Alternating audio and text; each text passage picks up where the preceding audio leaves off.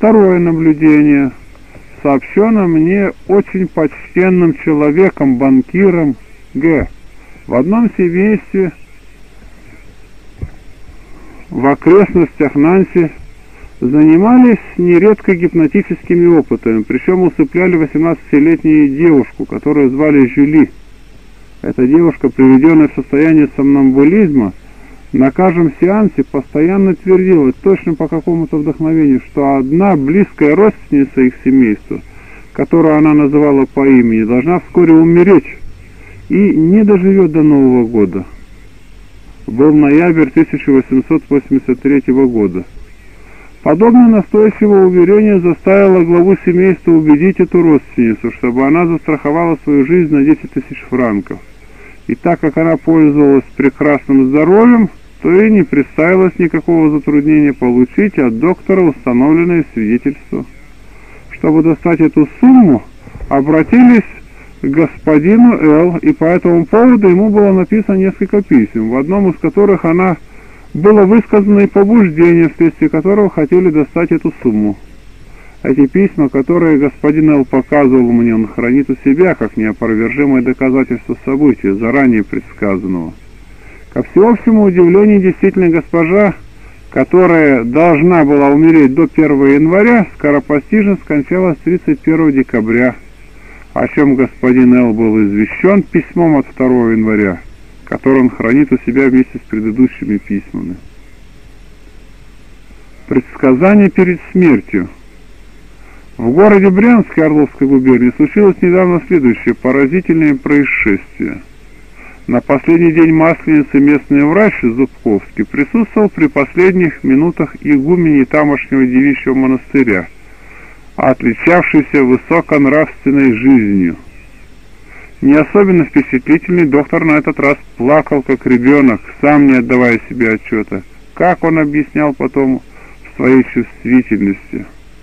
«Не плачь», — сказала ему умирающая, благословляя его. «Ты сегодня же последуешь за мной». Сказав это, она скончалась. Вечером в тот же день доктор Зубковский умер в клубе от разрыва сердца. Предсказание Казотта рассказано очевидцем Лагарпом. Осенью 1788 года, незадолго до собрания Государственного Совета в улице Дюбак, в доме академика, собралось блестящее общество на парадный обед. Красивые аристократки, придворные кавалеры, ученые и выдающиеся люди того времени вели оживленный разговор за роскошно сервированным столом. Тут был Малярбов, бывший министр, де Кондорсе, знаменитый ученый, де Шамфор, математик, Мирабо, резкий и злой мизантроп.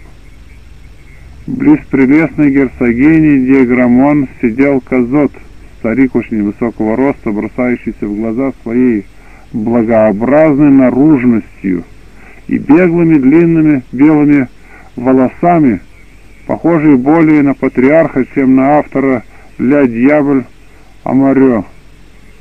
Говорили много, оживленно, перечисляли новые открытия, радовались успехам в области наук и приветствовали восторженно великое приближающееся будущее, когда права граждан будут признаны, а короли узнают свои обязанности относительно их.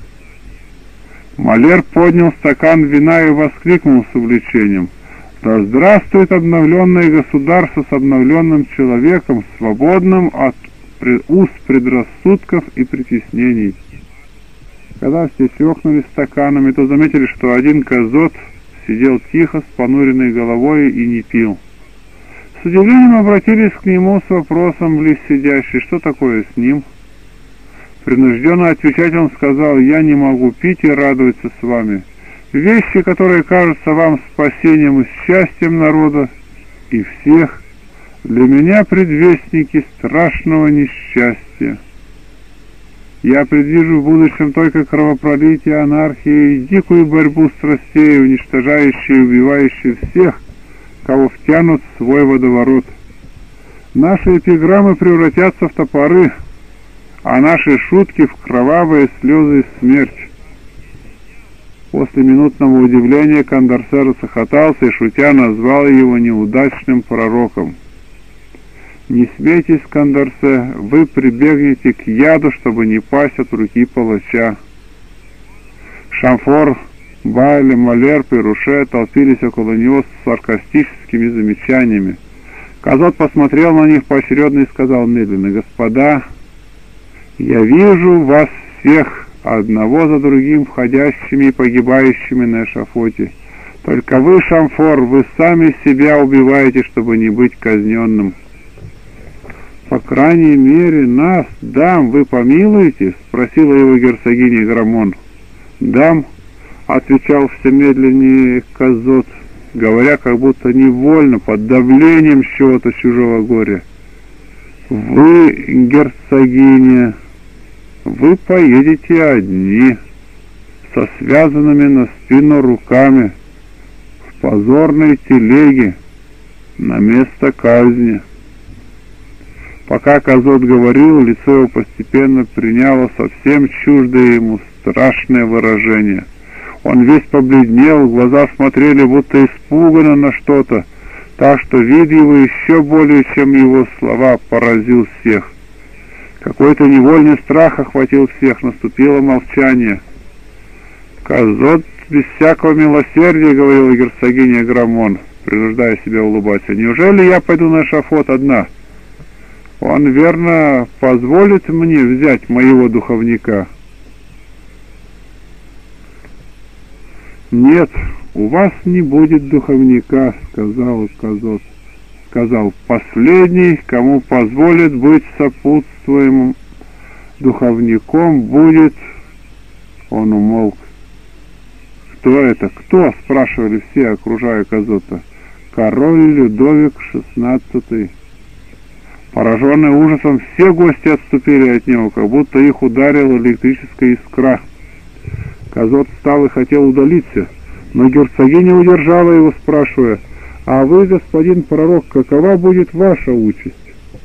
Казот стоял несколько времени с поникшей головой и наконец сказал, «Поздно, но и меня постигнет ваша же участь». С этими словами Казот поклонился и быстро оставил зал. Скоро после него разъехались и все гости. Спустя несколько дней после обеда в улице Дюбак Кандарсе встретил Казота и напомнил ему, как он перепугал и сполошил всех присутствующих. Старик замахал руками. «Глупости, глупости, я был пьян. Неужели полупомешательство Казота могло вас, умных скептиков, испугать? Я вам еще раз повторяю, Казот от старости спятил с ума. Он знает, не знает, что болтает.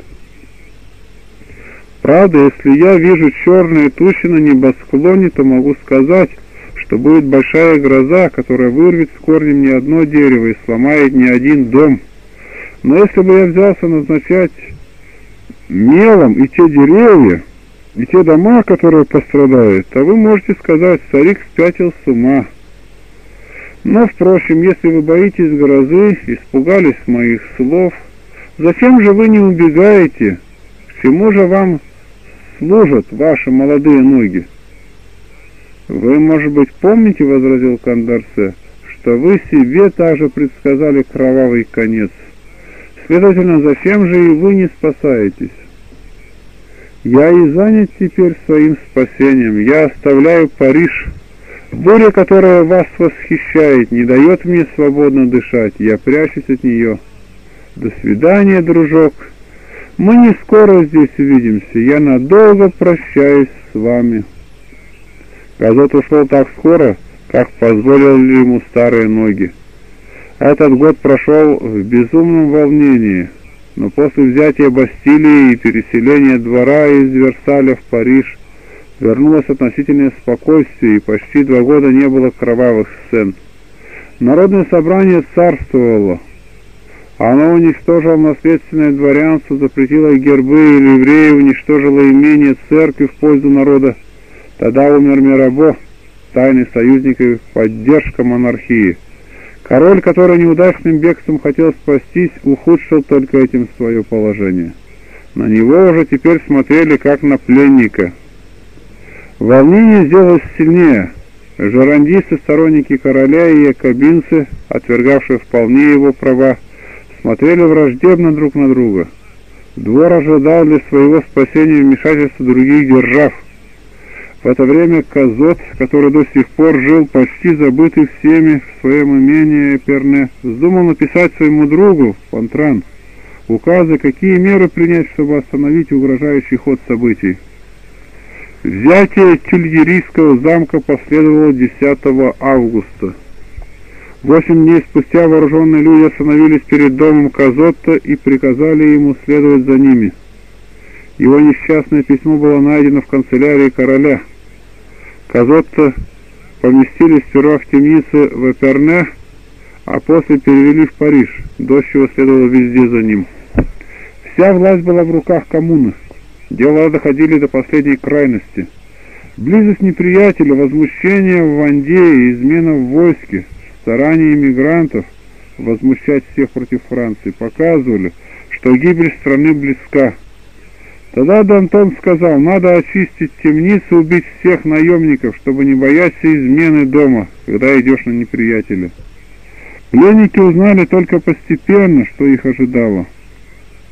Двенадцать человек по характеру, скорее звери, сидели в Жарменском аббатстве у стола, где лежало, как попало, оружие и бумаги. Мальяр с пером в руке, с ножом, привязанным сбоку, занимал место председателя. Пленных вводили поочередно, давая каждому только несколько минут на защиту. Если кто-либо оказывался невиновен, то было слышно «свободен», Несчастного толкали во двор, где толпа палачей или убивала, или стреляла в приговоренных на смерть. Все это делалось быстро, грубо, бесчеловечно, большей части при свете факелов. Имя Казотта было три раза подчеркнуто, он и не защищался. Его вытолкнули а-ля форс. В это время дочь его бросилась к нему, обняла его и закричала «Прежде убейте меня!» При виде этой красивой молодой девушки опустились ружья, народ кричал «Помилуйте ее!» И палачи отпустили свою жертву. Вне себя от радости дочь увела под трупом и лужем крови спасенного отца. Как она была горда, как счастлива! «Назови нам своих врагов, старик», — сказал один простолюдин Казоцу. «Мы их накажем». «Ах!» — отвечал Казот, — «зачем вы думаете, что у меня враги? Я никому не сделал зла». Казалось бы, что пророчество Казота, насколько было оно ужасно, казалось неверным, ведь он освобожден. Но судьи тогдашнего времени были злопамятны. Десять дней спустя по приказанию Петиона Казота опять взяли, потащили в консьержери, а дочери запретили туда вход. При допросе Казот ответил с легкой тенью иронии. «Ведь народ меня освободил. Как же вы, судьи именем народа, против воли народа опять меня взяли?» На эти слова никто не обратил внимания, только Петион сказал. «Недостаточно быть хорошим семьянином, надо быть и хорошим гражданином. К чему вам послужила ваша 72-летняя жизнь?» Дочь Казотца не отказалась от мысли спасти его. Она завербовала толпу женщин, чтобы с их помощью опять выпросить милость отцу. Но об этом узнали, схватили ее и тоже заключили в консьержери. Перед казнью Казот выпросил перо в бумаге и написал своим ближним «Не забывайте меня, но и не оплакивайте». На шафот он зашел твердым шагом, просил отрезать его длинные белые волосы и передать их дочери – После того, обернувшись к народу, сказал, «Умираю, как жил, верен моему Богу и королю». Минуту спустя его казнили. Так умер Казот, автор «Дьявля Амуре» и прелестных волшебных сказок. Его пророчество на нем первым исполнилось. Скоро за ним последовал король Франции, и он был последний, кому разрешили отправиться на место казни в сопровождении духовника – После того казнили прекрасную герцогиню Граммон. Ее везли со связанными на спине руками после Руше, Бали, Малерб. Но как же покончили Кандарсе и Шамфор, которым Казот предсказал в минуту экстаза, что они сами на себя наложат руки, чтобы избегнуть руки палача? Кондорсе перешел на сторону революции. Он после 10 августа написал заграничным державам, оправдывая решение Народного совета, и был в числе судей над королем, хотя был против смертной казни. Уважаемый член конвента, он едва только написал очерк Конституции, который и одобрили, как последовал переворот 31 мая и окончательная победа черной партии. Конвент, окруженный разделенной толпой, скрылся в Тильери и должен был сдаться. Кондорсе оставили сначала без подозрения, но когда он отверг Конституцию, написанную в 1793 году, его приговорили 3 октября к смерти. Принужденный скрываться, он нашел убежище в доме одного друга, женщины, где он восемь месяцев жил и много писал. Тогда вышел новый указ, угрожающий смертью всем, кто скроет у себя приговоренного. Кондорсе ушел от своей благодетельницы, чтобы не подвергать ее опасности, хотя она и желала удержать его у себя. Он ушел из Парижа в начале марта 1794 года, думая найти убежище у своего друга, жившего в деревне, но не застал его дома. Без бумаг и паспорта он скрывался несколько дней в каменоломнях, но, наконец, преследуемый голодом, вошел в сельскую гостиницу, выдавая себя за слугу умершего господина. Хозяйка увидела длинную бороду, одежду в лохмотьях, дикий вид спросила, есть ли у него деньги заплатить за обед. Кондорсе вынул из кармана элегантный портфель и из него золотой. Этого было достаточно, чтобы возбудить подозрение. Член комитета, случайно там находившийся, велел его арестовать и отвезти в темницу. На другой день приказали привести его к допросу, но нашли уже мертвым. Он отравился ядом, который всегда был с ним, чтобы избежать позорной казни. Спустя несколько времени арестовали Шамфора, который резко порицал бесчеловечные поступки конвента. Его посадили в темницу, но скоро выпустили. Через месяц его опять заключили, и он открыл себе вены на руках и ногах, чтобы умереть. Около него лежал лист бумаги со словами «Я желаю умереть свободным человеком, а не рабом на эшафоте». Наука и старания его друзей вернули его к жизни, но все-таки он скоро умер, а именно в апреле 1794 года. Так и все, с которым, к которым относились пророческие слова Казота, оставили этот мир. Так должно было случиться. Это было заранее им предсказано, говорил Дон Шафис, переживший их всех замечательные предсказания. В начинающих проникать в публику записках покойного Бисмарка нашлось описание следующего поразительного факта. В 1849 году Вильгельм, тогда еще прусский принц, был в Лондоне, где в то время славилась на всю Англию некая гадальщица. Принц отправился к ней – она предсказала Вильгельму, когда он сделается императором и когда умрет. «Ты будешь царствовать не только над своим теперешним народом, но и над всеми немцами», — сказала гадалка. «А когда это случится, — перебил ее принц, — сложи цифры текущего года с отдельными цифрами, составляющими этот год. 1849 плюс 1 плюс 8 плюс 4 плюс 9, 1871. «Вот год твоего восшествия на императорский престол!» — воскликнула гадалчица. «Но я к этому времени буду стар», — заметил с досадой будущий император. «Ты проживешь очень долго», — был ответ гадальщицы. «Приблизительно сколько?» «Не приблизительно, а безошибочно ты узнаешь, когда умрешь, если цифры года твоего восшествия, 1871, сложишь с отдельными цифрами, составляющими этот год». 1871 плюс 1 плюс 8 плюс 7 плюс 1. 1888. Предсказание сбылось в точности. Принц Вильгельм стал императором в 1871 году и скончался в 1888. Способность силой воли объективировать представление –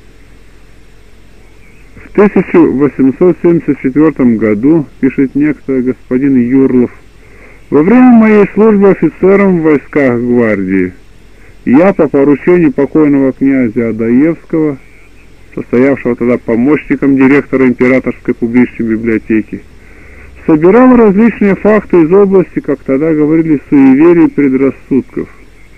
Некоторые из собранных мною таковых материалов вошли в статью князя Адаевского «Колдовство XIX столетия». Письма графини Растопчиной, напечатанные в журнале «Отечественные записки». Отыскивая лиц, знающих подобные факты, я познакомился с замечательной личностью, членом Императорского вольного экономического общества Антоном Марковичем Гамулецким Декола, жившим в Петербурге Почтамской улице в доме Керстен. Квартиру эту занимал он в течение 35 лет.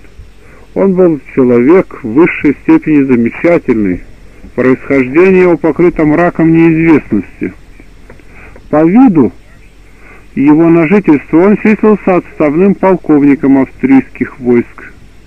И известно было также, что он путешествовал вокруг света и был выдающимся ученым по части физики и механики. Состояние его никто не знал, но надо полагать, что оно было громадное. Библиотека его занимала несколько больших комнат и состояла из нескольких десятков тысяч томов, книг и рукописей. Но всего замечательный был его кабинет редкостей, собранных во всех странах света. Многие предметы представляли чудо механики, а одна же вещь обращала на себя особенное внимание всех ученых и вообще всего Петербурга. Это была фигура ангела из железа весом 14 фунтов, и держалась она на воздухе без всякой опоры, противодействующей силой скрытых магнитов.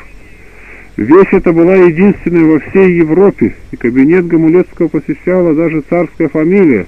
А так как Гамулецкий не брал ни с кого денег, то по воле в боге почивающей императрицы Александра Федоровна была поставлена в прихожей квартиры Гамулецкого кружка, кружка, в которой посетители клали лепту свою в пользу какого-то благотворительного заведения.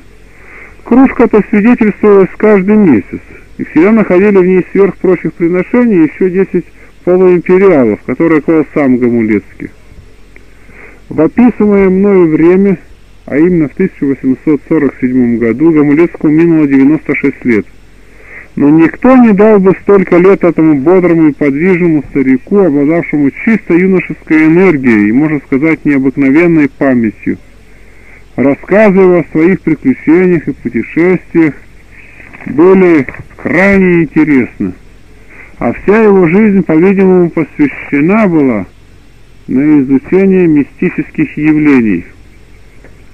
Познакомясь с Антоном Марковичем через его приятеля Цезилина, я часто проводил у него вечера, и мы нередко засиживались у него до самого рассвета, слушая его поучительные рассказы. Узнав от Цеделина, что Антон Маркович обладает сверх всех своих чудесных познаний с чударом показывать в воде грядущее событие, я настойчиво просил его сделать при мне опыт и показать мне мою будущую невесту. После нескольких отказов он наконец уступил моим просьбам и назначил мне и Цеделина прибыть к нему вечером в 9 часов. Когда мы прибыли в назначенный день, и сгорали от желания поскорее увидать замечательное явление, господин Гамулецкий повел нас в особую маленькую комнату. Здесь на небольшом столе была поставлена большая превосходная работа из настоящего богемского хрусталя ваза, наполненная водой. А около на том же столике лежал какой-то гладко полированный темного цвета камень. Антон Маркович обратился ко мне со следующими словами – Прежде всего я должен сказать тебе, что, собственно, в приготовлениях к опыту нет ничего чудесного. Ваза обыкновенная, вода также, вот камень, весьма ценный и редкий, турмалин. Камень этот сегодня утром насыщен мною посредством особого сильного рефлектора солнечными лучами. И когда я его положу в воду и вынесу из комнаты свечи, он будет светить и освещать вазу с водою. В этом тоже нет ничего сверхъестественного.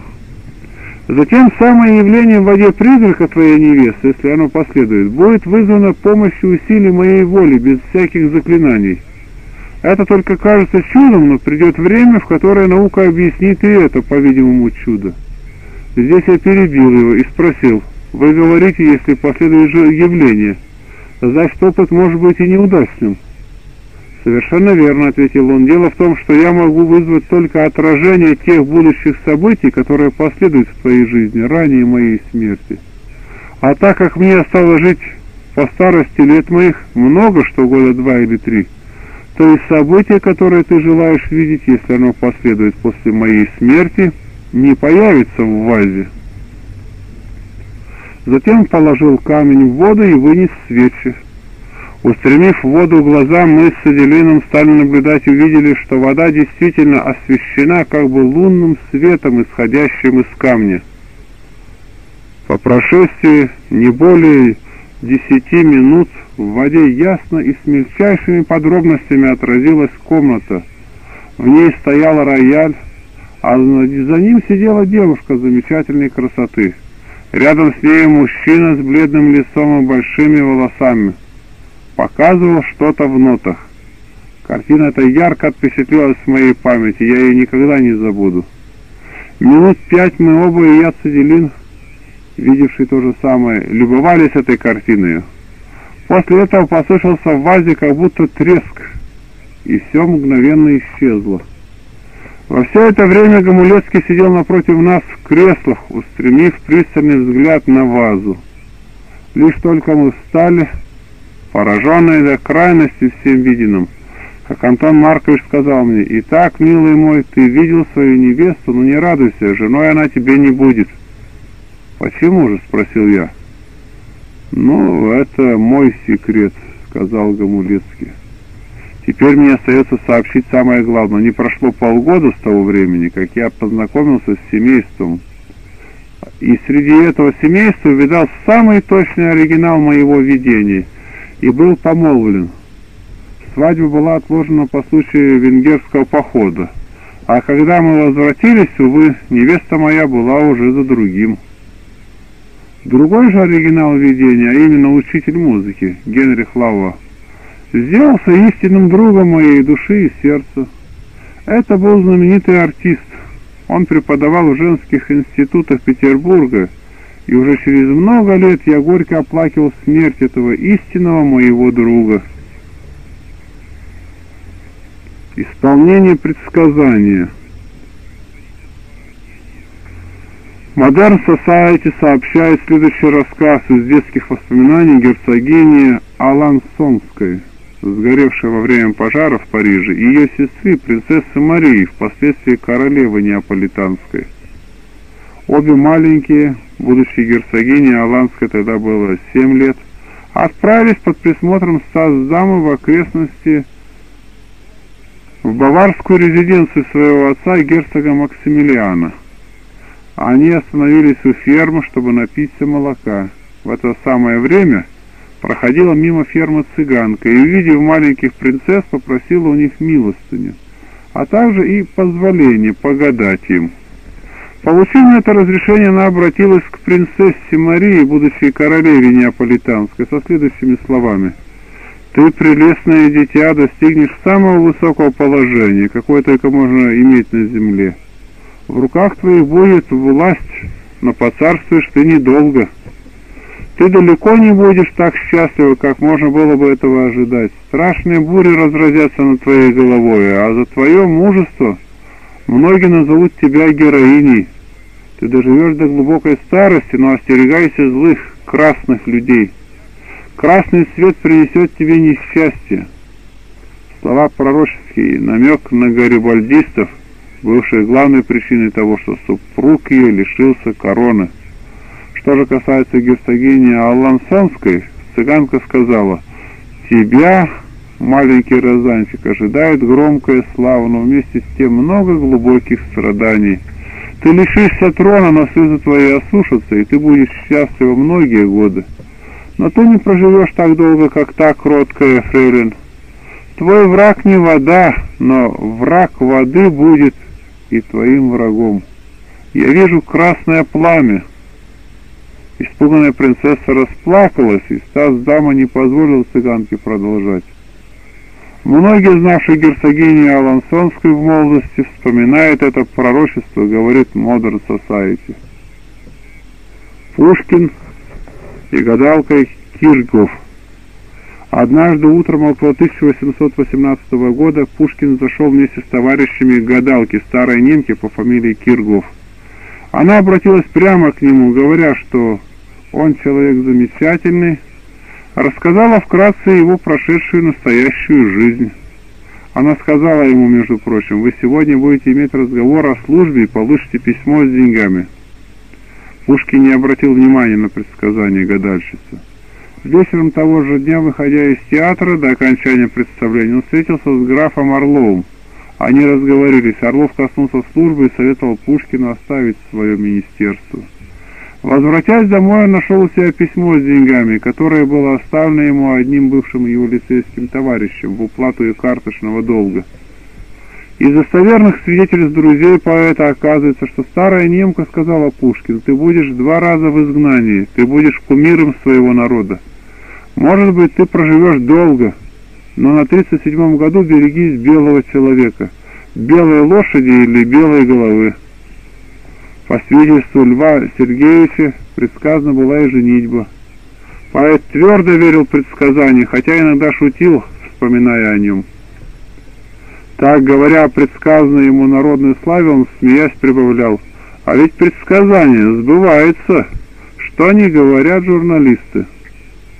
По свидетельству покойного Нащекина, в конце 30-го года, живя в Москве, раздосадованный разными неудачами, он выразил желание ехать в Польшу, чтобы там принять участие в войне.